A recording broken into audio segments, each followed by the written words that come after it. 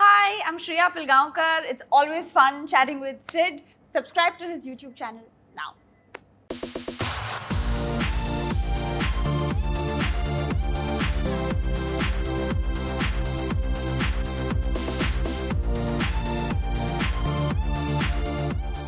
अभी भी तुम्हें लगता है कि फ़िल्म को ऊपर रखा रखते हैं और जैसे फ़िल्म एक्टर्स को और बाकी सब टू थ्री फोर पे आते हैं ऐसे लगता है उस मामले में मैं ऐसा मानता हूँ कि मे बी इंडस्ट्री वाले या कुछ एक ऐसा वर्ग है जो ऐसा मानता होगा शायद जो ये हरारकी में वगैरह। पर अगर ऑडियंस की बात करें तो ऑडियंस के लिए सब कुछ एक है उनके लिए एंटरटेनमेंट चाहे वो फ़िल्म पे हो ओटीटी पे हो टीवी में हो या यूट्यूब पर हो उनके लिए सबकी अपनी अपनी ऑडियंस होती है और सबके अपने अपने लाइक फ़ैन फैंस बनते हैं कि किसी को ये पसंद है किसी को वो पसंद है. सर ऑडियंस तो- को कुछ घंटा फ़र्क पड़ता है वो फ़र्क नहीं पड़ता वही. अच्छा तो अगर वो इंडस्ट्री में अगर वो हैरारकी है या किसी अवार्ड फ़ंक्शन में वो हैरारकी है तो मुझे ऐसा नहीं लगता कि इसलिए हमको किसी कॉम्प्लेक्स में रहना चाहिए. बिकॉज़ ऑडियंस सबसे बड़ी होती है। तो- मैं are तो- doing films, OTT, everything together now. So content content होता है ना भाई। हाँ, मैं तो कह रहा हूँ कि सबसे सुंदर बात सबसे खूबसूरत बात हमारी कंट्री की है कि हमारी आबादी 130 करोड़ है। करेक्ट तो हर चीज़ कंज्यूम करने के लिए बहुत जनता है। तो आप ये नहीं कह सकते कि हाँ ये जनता यही देखेगी या ये जनता यही देखेगी। कई लोग मौज ऐप को भी इंजॉय करते हैं क्योंकि सबके पास इंस्टाग्राम तो है नहीं। तो मौज ऐप भी है। लोग टिकटॉक भी देखते हैं। लोग और भी कितने ऐसे प्लेटफॉर्म हैं जो आपने मैंने सुने भी नहीं है फिर भी उस पर एक ज़बरदस्त नंबर की जनता है। तो ये बोल देना कि कि अभी बॉलीवुड ही सबसे बड़ा है यही बड़ा है। अब कुछ वो सारी लाइन थिन हो गई है अब जनता हो गई स्मार्ट अब जनता चाहती है कि हम अगर हम इंटरनेट पे अगर हम इतने जीबी खर्च रहे हैं इतने पैसे खर्च रहे हैं अपने डेटा पे तो हम कुछ बढ़िया सी चीज़ देखें और सब उनके हाथ में है। अब तभी तो हमारे इंटरव्यू ट्रेंड होते हैं भाई। अरे भाई अच्छा देखिए 2012 में आपने अपनी शायद लास्ट फ़िल्म की थी ना भाईजान? अग्निपथ राइट हाँ। सारा भाई सारा भाई हो देख भाई देख हो ऑल आइकॉनिक कंटेंट शोज़ फ़िल्मों में मैं आपको क्यों नहीं ज़्यादा देख रहा हूँ भाई? कंप्लेन है क्या कुछ? सच्चे दिल से बोलो। नहीं ऐसा था जो जीता वही सिकंदर वैसे मेरी पहली फ़िल्म थी। और उसमें काफ़ी मेरा काम सराहा गया। और उसके बाद sir let me correct you उसमें ही नहीं हर प्रोजेक्ट में आपको सहारा आ गया है सर जी सच्चे दिल से। थैंक यू सो मच है ना भाई? सो हाँ जो मतलब जिन जिन को मालूम है पर शायद शायद मुझे भी नहीं मालूम है कि जो जीता वही सिकंदर के बाद मैंने कुछ 25-30 फ़िल्में की हैं। जी सर। जिनके नाम अगर मुझे पूछो तो उसमें से दो चार नाम मैं गिना पाऊँगा। क्योंकि वो मुझे खुद को नहीं मालूम है तो मेरा काम सराहने की तो बात ही बहुत परे रह गई क्योंकि मालूम ही नहीं है याद ही नहीं है। कारोबार तो हाँ। तो ऐसा होता है पर उन दिनों ज़रूरत थी मुझे मैं शादी करना चाहता था और मुझे बड़ा घर खरीदना था अपना गाड़ी खरीदनी थी और शादी करनी थी तो सोचा कि ये जब तक ये तीन चीज़ हासिल ना कर लूँ तभी जो काम मिले मैं कर लूँगा। तो वो दो तीन साल तक मैंने बहुत सारी फ़िल्में की हर जगह हीरो का दोस्त बना पर ऐसी फ़िल्में और ऐसे रोल्स किए कि जहाँ जो किसी के ध्यान में ही ना आए। तो उसके बाद मुझे लगा ये तीनों अचीव कर लिया मैंने। एक घर खरीदा गाड़ी खरीदी और शादी की। क्या बात है उसके? बाद मैंने सोचा कि अब ज़रा मुझे जो करना है वो करना चाहूँगा। और फिर टेलीविज़न आया। तो टेलीविज़न में मुझे बहुत सारी पॉपुलैरिटी अवार्ड्स लोगों का प्यार ये वो बहुत कुछ दिया। अलग अलग किस्म के रोल्स करने मिले। तो इस तरह से ये टीवी का दौर शुरू हुआ पर वो फिर थोड़ा मोनोटोनस हो गया और फटी गया। और इसलिए अब मैं एक्सप्लोर करना चाहता हूँ ओ की ओ को। सर, और अभी ताज़ा खबर से ज़्यादा हाँ? इससे भी बादशाह बनोगे सर हाँ दिल से। प्रथमेश मराठी सिनेमा में तुम नामचीन एक्टर हो तुमने दृश्यम टू भी किया था। वेल डन ब्रदर वो मराठी टू बॉलीवुड शिफ्ट कठिन था भाई?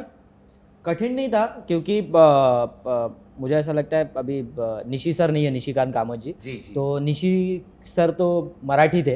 तो उन्होंने मेरा नाम सजेस्ट किया था कि भाई, आप दृश्यम में आ जाओ और ऐसे ऑडिशन करो और मुझे सिलेक्ट करके।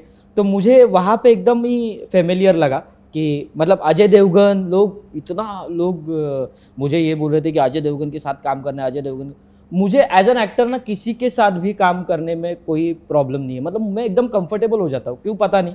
मेरे में ऐसा है, क्या है? मैं अजय देवगन जी को रिस्पेक्ट करता हूँ, प्यार करता हूँ, लेकिन जब एक्टिंग की बात आती है ना तब मैं अजय देवगन मुझे अगर एक जगह मिली मतलब भुवन को भी भुवन तो बहुत बड़ा यूट्यूबर है बहुत बड़ा एक्टर है फिर भी भुवन अगर मेरे को लगा कि भुवन ने ये करना चाहिए तो मैं बेझिझक जाके उसको बोलूँगा कि आप ये या आप ये कर- मानते हाँ एक्टर एक्टर मानता हूँ। तो मुझे ऐसा लगता है ये शायद मैं ड्रामा करके आया हूँ शायद इसी वजह से है मेरे में कि कोई भी बड़ा एक्टर आ जाए बॉलीवुड स्टार आ जाए यूट्यूब स्टार आ जाए फिर भी मैं उसको एक्टर की तरह ही ट्रीट करता हूँ और वो मुझे लगता है कि वो होना चाहिए। मैं तो अजय देवगन के साथ काम कर रहा हूँ इसका प्रेशर अगर एक्टर बोल के मैंने ले लिया तो फिर वो सीन ही नहीं होगा। भुवन बाम के साथ मैं काम कर रहा हूँ तो वो सीन ही नहीं होगा।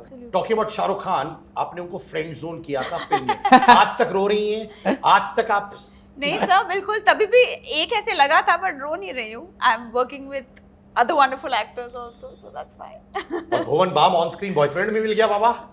क्या बात है? क्या क्या इंटरनल जोक्स नहीं चलते क्या? अरे नहीं वो मिल गया कह रहा हूँ मिल गया। भुवन एक जेन्यूनली एक जादुई चमत्कार मोमेंट तुम्हारे लाइफ में अगर तुम बोलो वो क्या है? चमत्कार का मोमेंट आ, आ वीडियोस जब बना रहा था बीबी की वाइन्स की जो अभी भी बनाऊँगा ऑफ़ कोर्स तो जो बना रहा था तब ट्राईपॉड का सीन नहीं था।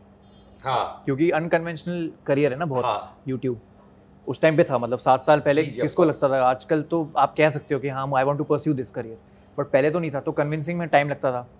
किसी को बोल दो कि यार अपना ज़रा कैमरा वैमरा अगर आप दे दो टू हंड्रेड डी दे दो या कुछ ऐसा कुछ दे दो जिस पे बना लेंगे। तो कोई देता नहीं। सब बोलते थे कि नहीं इसमें कुछ नहीं है कुछ नहीं रखा इन चीज़ों में। तब लगता था कि यार कभी ऐसा कुछ हो जाए कि अपना प्रोडक्शन शुरू करूँगा तो फिर उसके अंदर ये कमी तो नहीं आने दूँगा मैं किसी चीज़ के लिए।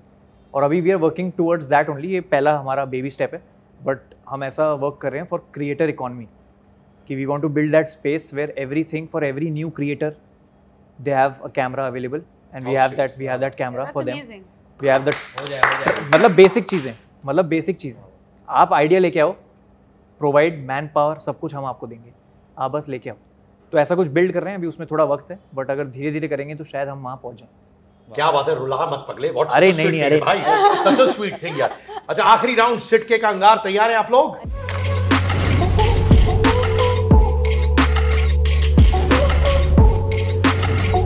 अरे बाप रे अंगार अंगार बाकी सब ये बहुत अंगार डेंजरस होते हैं। सर नहीं नहीं कुछ नहीं बड़ा सिंपल है। भाई एक गलत खबर फैलाओ भुवन के बारे में। भुवन के बारे में? हम्म। कि भुवन ने यूट्यूब छोड़ दिया ये गलत खबर है बाय द वे गलत खबर हाँ। अरे मैं don't worry you know what he'll do? इनके प्रोमो में यही जाएगा। इनके प्रोमो में सब समझ चुकी है। ये- Once in a blue लेकिन ये गलत खबर है। ये श्रेया के बारे में गलत खबर। श्रेया के बारे में गलत खबर?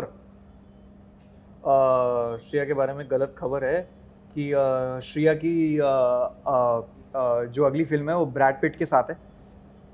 और उसमें मैगट रॉबी भी है। और हाँ, वो reverse psychology good good good ये ये मैनिफेस्टेशन कहते हैं हाँ हाँ yes yes say it out loud Shreya Deven भाई के बारे में।